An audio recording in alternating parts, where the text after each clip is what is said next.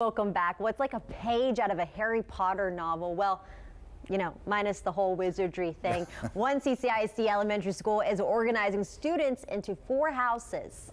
Yeah, they're all in competition. Administrators at Crockett Elementary say kids are competing both in and out of the classroom, and that includes one new game that promotes fitness and tests their math skills at the same time. Our Taylor Alanis explains.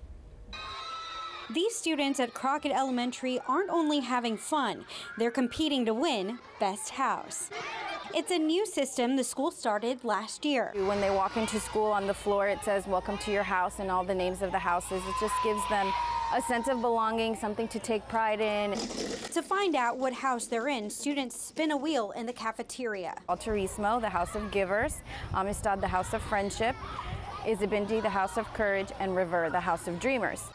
Teachers say throughout the year, students compete and earn points in academics and PE. And they're giving them the spelling words for every week. They're giving them whatever they're doing in math activities for that week.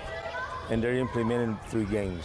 Games like Brain Ball, where students use math and think on their feet. We're getting the kids different opportunities to get cardiovascularly fit. Administrators say the house system isn't exactly modeled after Hogwarts, but from a school in Georgia. And unlike the Harry Potter books, points are never taken away. It's encouraging the students to have positive behavior at school. Staff says at the end of the year, the house with the most points wins a trophy and a party.